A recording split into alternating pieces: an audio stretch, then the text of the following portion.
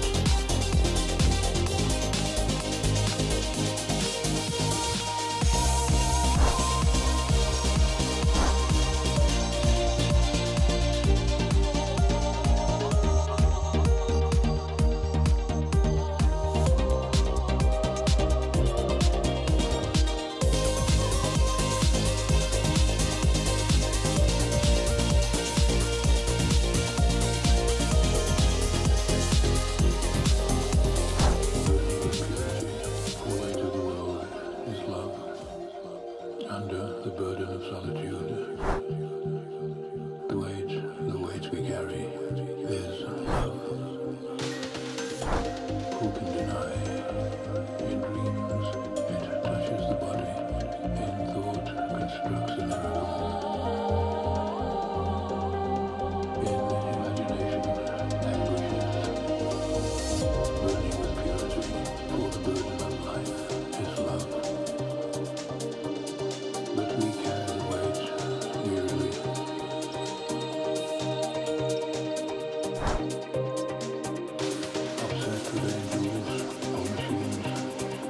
with my lord.